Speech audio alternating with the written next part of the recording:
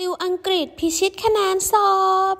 สวัสดีค่ะ มาพบกับ teacher อีกแล้วนะคะ ในรายวิชาภาษาอังกฤษพื้นฐานชั้นประถมศึกษาปีที่ 4 และวันนี้ teacher ก็มีเทคนิคดีๆ ในการทำแบบทดสอบมาให้เด็กๆ ได้ลองวิเคราะห์กันดูค่ะ ซึ่งแนววิเคราะห์แบบทดสอบในวันนี้ จะเป็นเรื่องเกี่ยวกับ vocabulary หรือคำศัพท์นั่นเองค่ะ เรามาเริ่มกันที่ข้อแรกเลยนะคะ ส่วนมากแบบทดสอบที่เกี่ยวกับ vocabulary หรือคำศัพท์ จะมีรูปภาพบอกค่ะ ให้เด็กๆดูรูปภาพ และอ่าน choice ทั้ง 4 choice นะคะ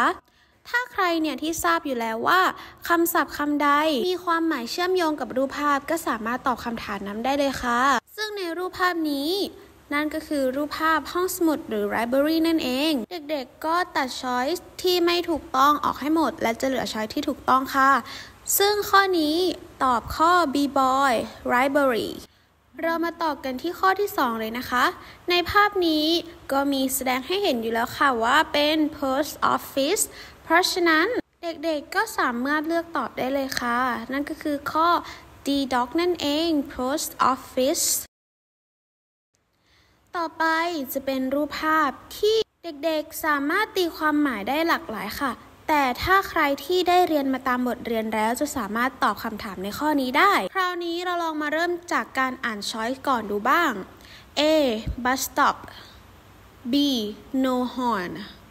C keep off the glass and D no smoking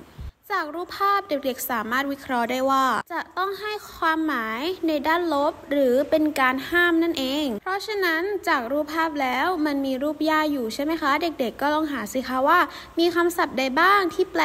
ว่าหญ้าอยู่ในคำตอบนั้นข้อ A bus stop ไม่มีความหมายที่แปลว่าหญ้าเลย no horn ก็ไม่มีเช่นเดียวกัน no smoking